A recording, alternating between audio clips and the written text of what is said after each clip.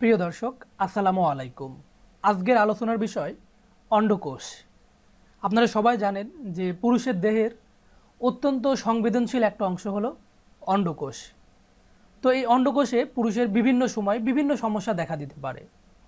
আর এই অংশে যদি আপনি কোনো অস্বাভাবিকতা দ্রুত ধরতে না পারেন, তাহলে সেটা পরবর্তীতে মারাত্মক আকার ধারণ করতে পারে। আর এজন্য আমাদের সকলেরই উচিত প্রতি মাসে অন্তত একবার করে হলেও নিজের অন্ডকোষটা নিজে ভালো করে চেক করে দেখা।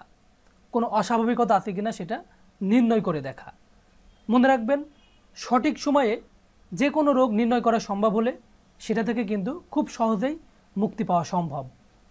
তো অন্ডকোষে সাধারণত যে সমস্যাগুলো বেশি দেখা দেয়, সেগুলো হলো হাইড্রোসিল, ভেরিকোসিল, স্পার্মাটোসিল, হার্নিয়া অন্ডকোষের টর্সন, তারপর সংক্রমণ, টিউমার, ক্যান্সার হ্যাঁ এছাড়া আরও বেশ কিছু ছোটোখাটো সমস্যা দেখা দেয়।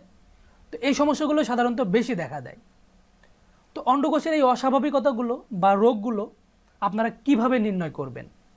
কীভাবে বুঝবেন যে আপনার অন্ডকোষে কোনো অস্বাভাবিকতা বা কোনো সমস্যা দেখা দিচ্ছে কি না অন্ডকোষের ভিতরে সাধারণত স্বাভাবিকভাবে দুটি পিণ্ড থাকে।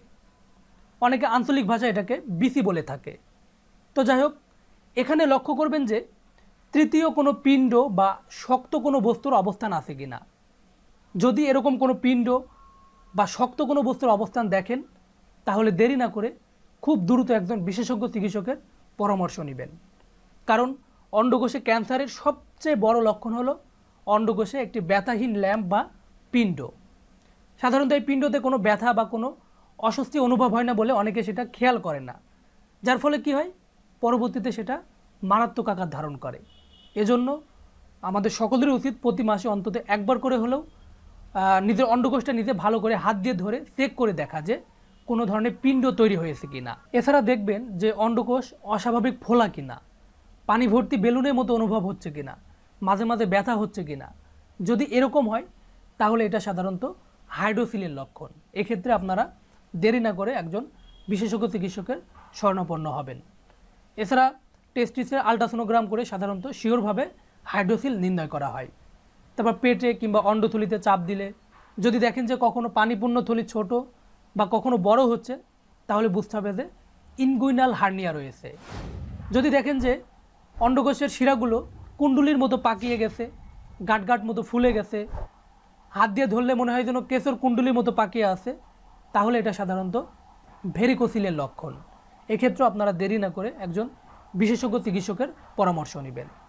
যদি হঠাৎ অন্ডকোষে প্রচুর ব্যথা অনুভব করেন, তারপরে গায়ে জ্বর চলে আসে এবং অন্ডকোষ ফুলে যায়, তাহলে অনেক সময় এটা সাধারণত সংক্রমণের কারণে হতে পারে। এক্ষেত্রেও আপনারা দেরি না করে দ্রুত একজন চিকিৎসকের পরামর্শ নেবেন। বিশেষজ্ঞ চিকিৎসকের পরামর্শ নেবেন।